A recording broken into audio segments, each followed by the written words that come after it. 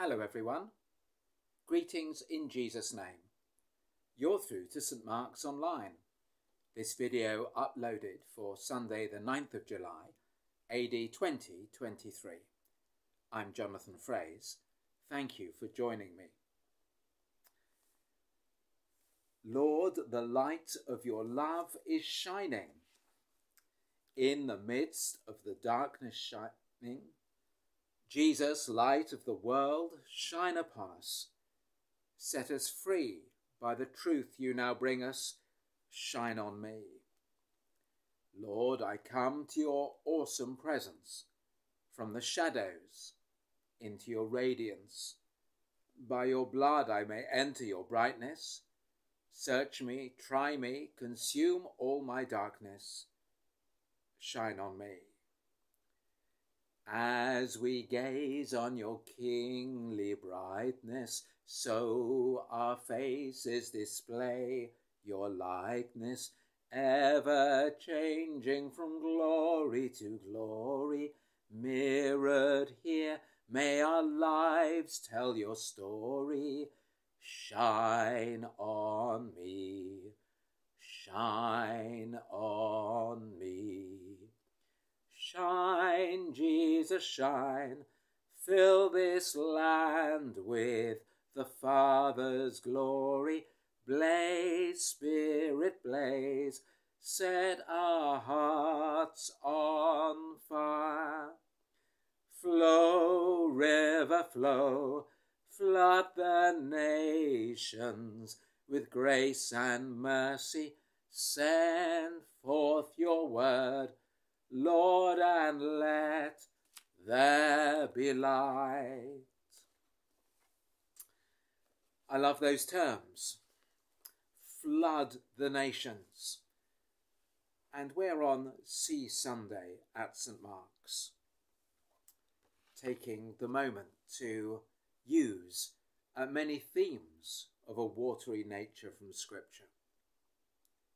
Let's turn to our confession plunging into that admission of our guilt and need for forgiveness.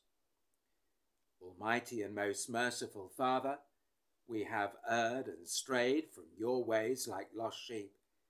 We have followed too much the devices and desires of our own hearts. We have broken your holy laws.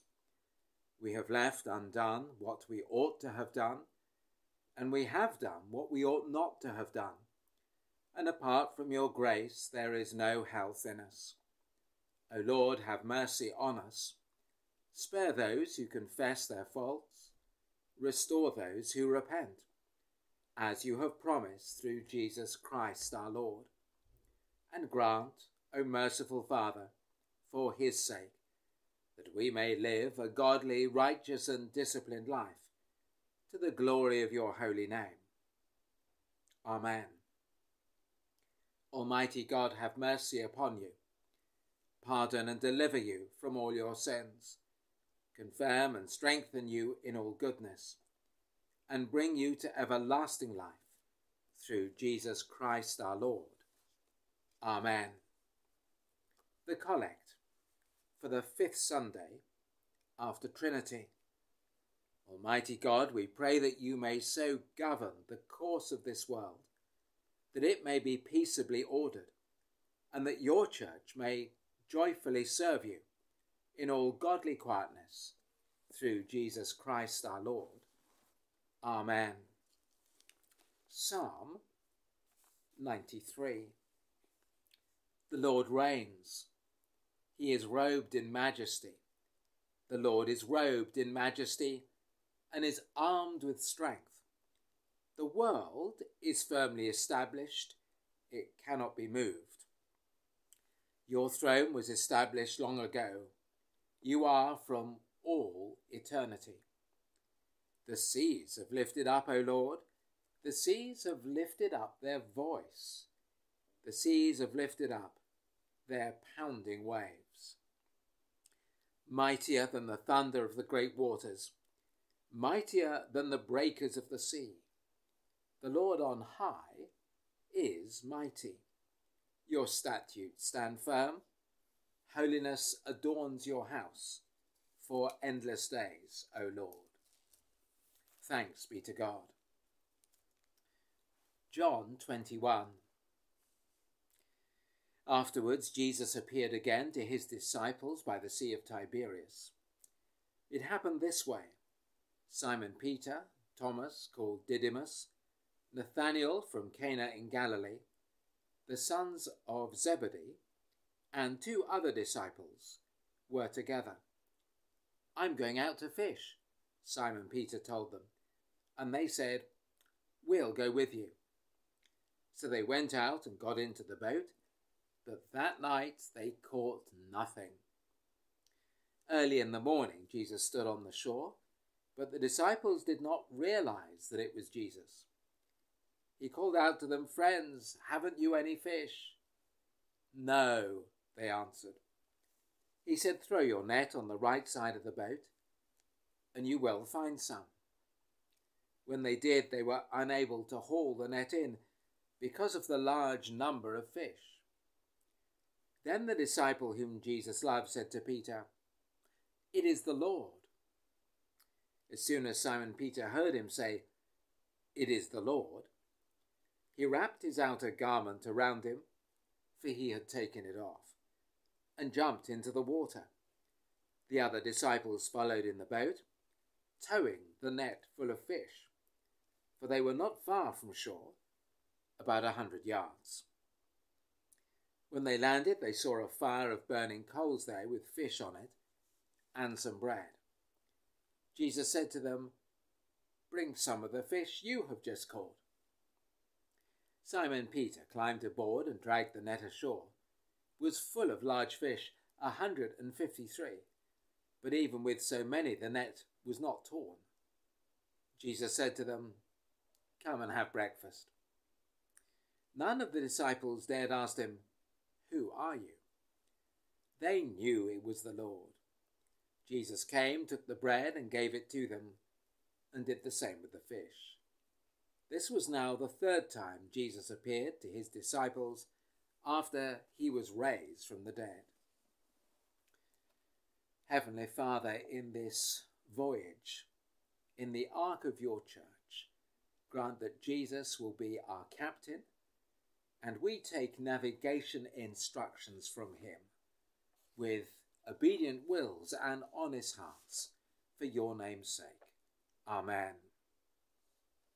We live in Bexhill on Sea. We walk by the sea. We campaign for a clean sea. The large area in church is called the nave, same root as for navy. So a gathering of people who are the crew and the sailors. And we find many incidents involving the sea in the Bible. So welcome to Sea Sunday. Today I ask, where do we go from here? Four headings. Firstly, Peter's idea. There are some things you cannot do for yourself. The angel at the empty tomb told the women to tell the disciples that Jesus is going ahead of you into Galilee.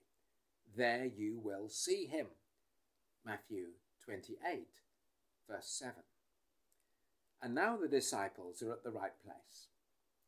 They must wait because Jesus makes himself known to us it is not we who tell him when and how to meet us.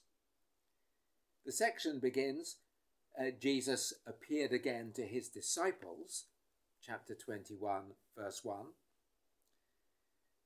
And that's a telling comment. Jesus does the appearing. The significant moments in your own spiritual journey were not organized by you, but you needed to be available.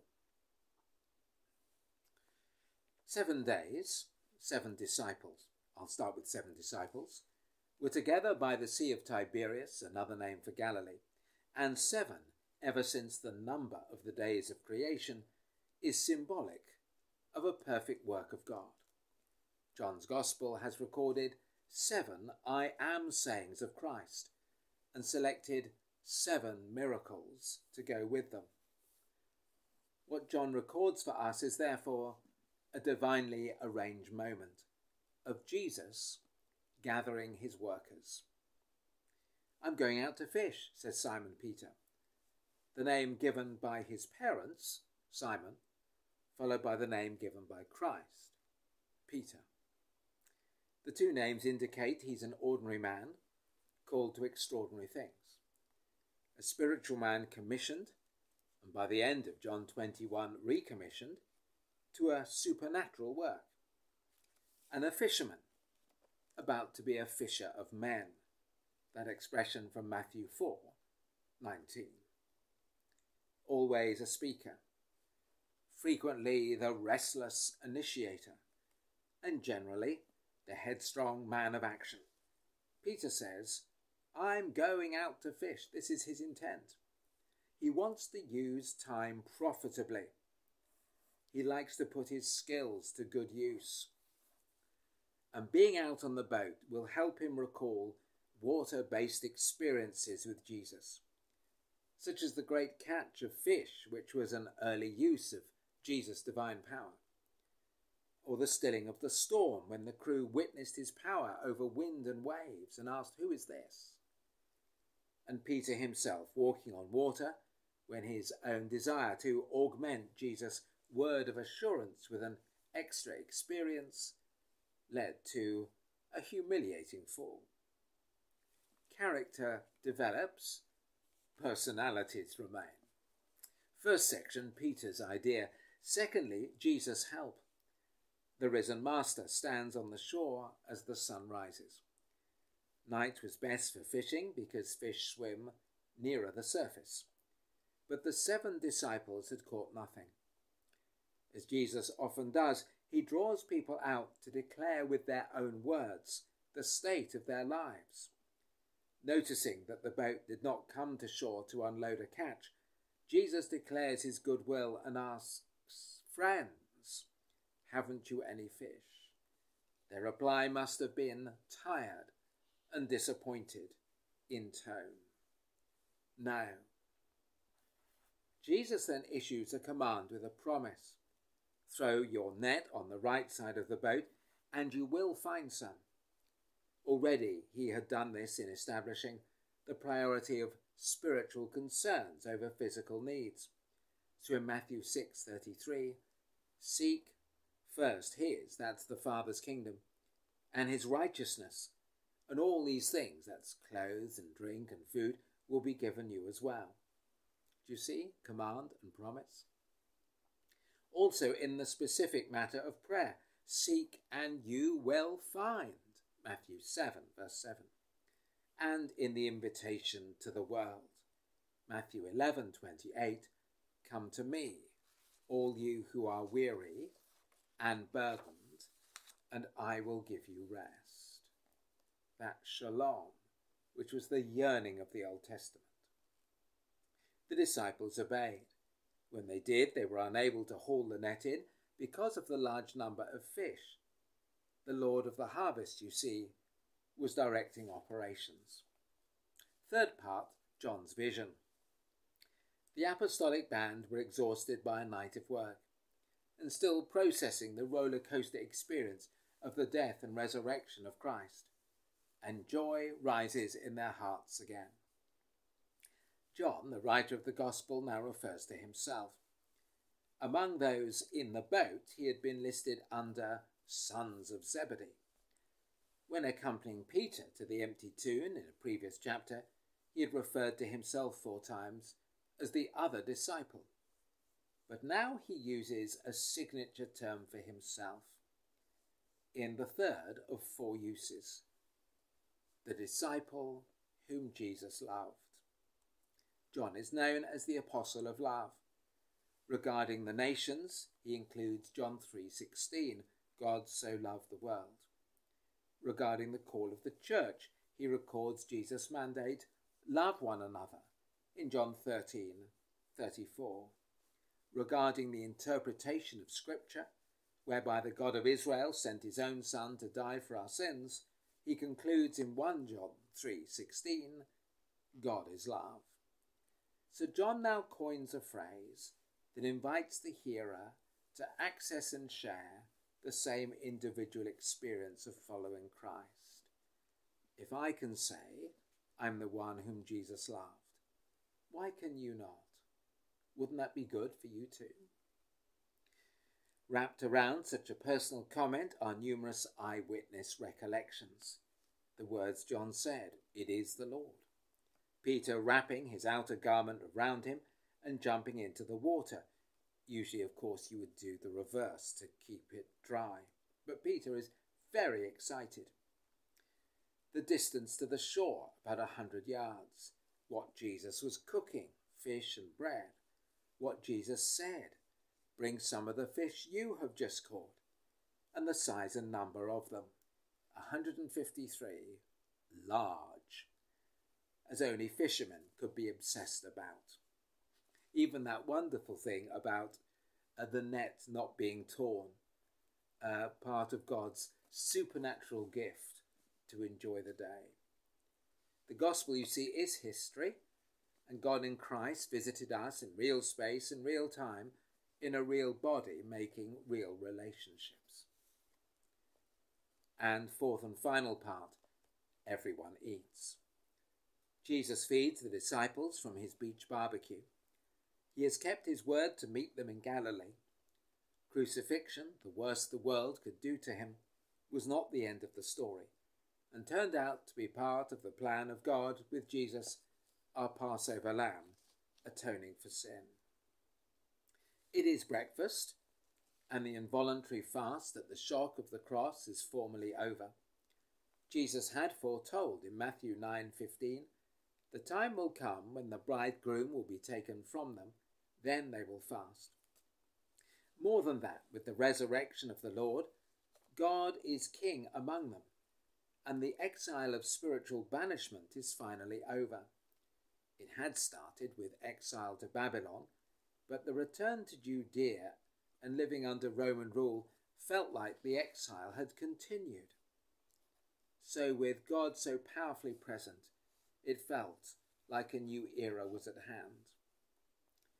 Food times with Jesus were often memorable, feeding the 5,000, feeding the 4,000, the Last Supper, unforgettable. Each one speaks of God providing for us, God drawing near to care for us, and looks forward to the final feast in heaven called the wedding supper of the Lamb, which Jesus spoke about in his parable of the great banquet. Those who come to Christ are tested and tried, but not disappointed or let down. None of the disciples dared ask him, Who are you? They knew it was the Lord. John has presented the evidence for Christ in his gospel, and now he invites you to experience following the Master too. Then he'll tell you what to do next. Let's pray. Heavenly Father, we thank you for Christ, arisen, finding us leading us and directing us. Grant that He would be our guide, that He would be our master, and that we would be a faithful crew now and always. Amen. I believe in God, the Father Almighty, creator of heaven and earth.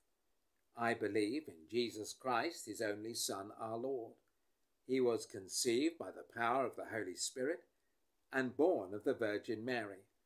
He suffered under Pontius Pilate, was crucified, died, and was buried. He descended to the dead. On the third day he rose again. He ascended into heaven and is seated at the right hand of the Father. He will come again to judge the living and the dead. I believe in the Holy Spirit, the Holy Catholic Church the communion of saints, the forgiveness of sins, the resurrection of the body, and the life everlasting. Amen. The family prayer. The prayer to take us through the choppy waters of this world into our final eternal port. Our Father, who art in heaven, hallowed be thy name. Thy kingdom come, thy will be done on earth as it is in heaven.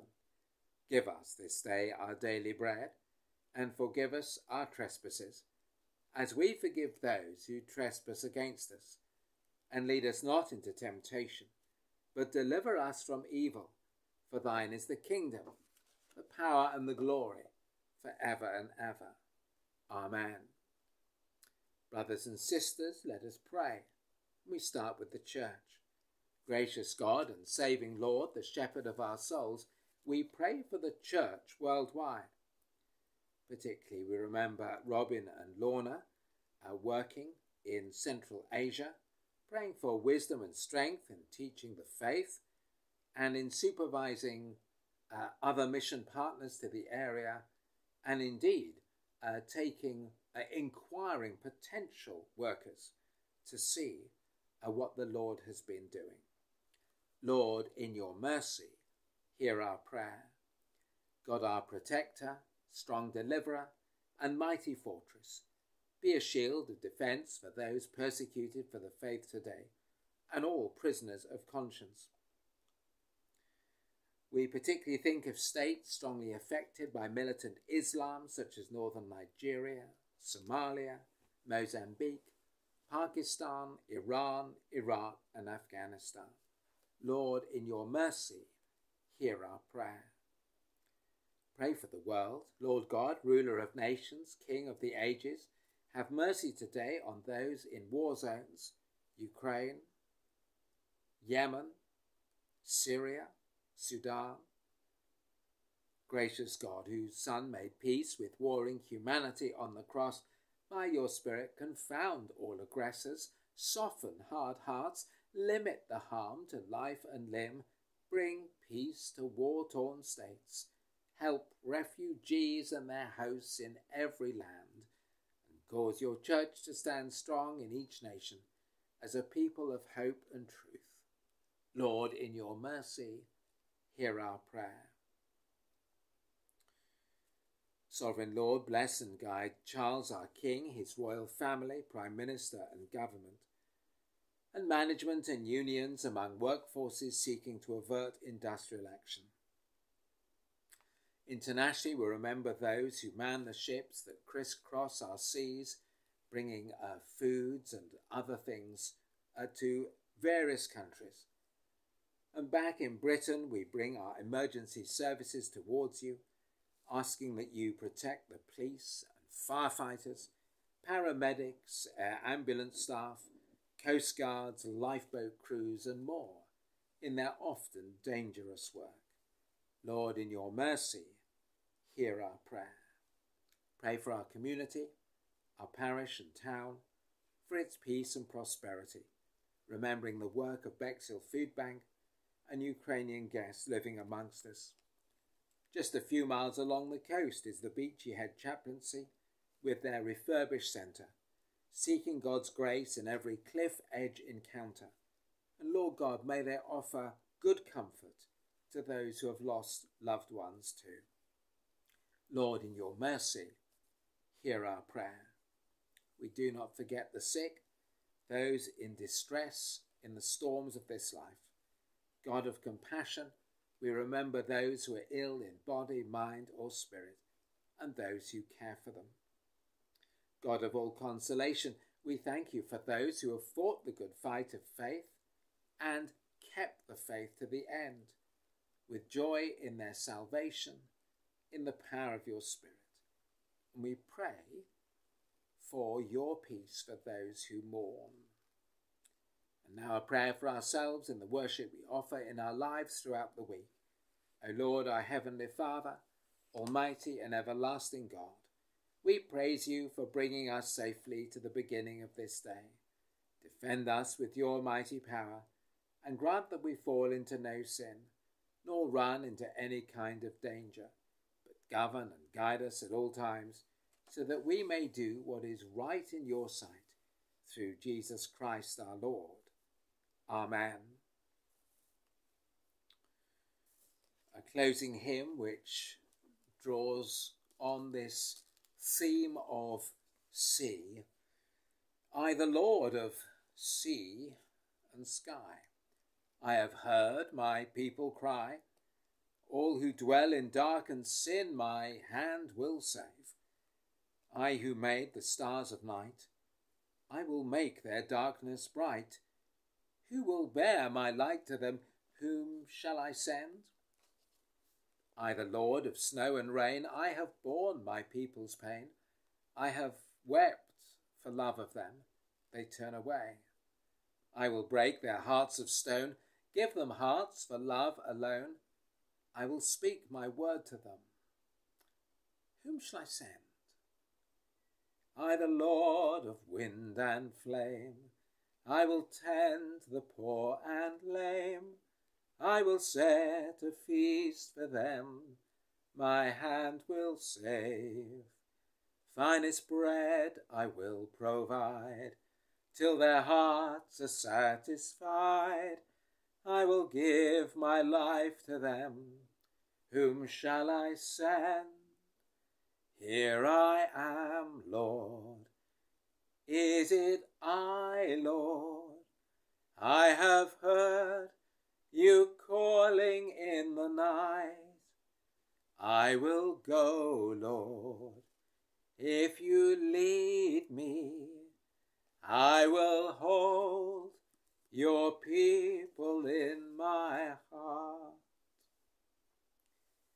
And now may the peace of God, which passes all understanding, keep your hearts and minds in the knowledge and love of God and of his Son, Jesus Christ our Lord, and the blessing of God Almighty, the Father, the Son, and the Holy Spirit be among you and all whom you love, both near and far, and remain with you always.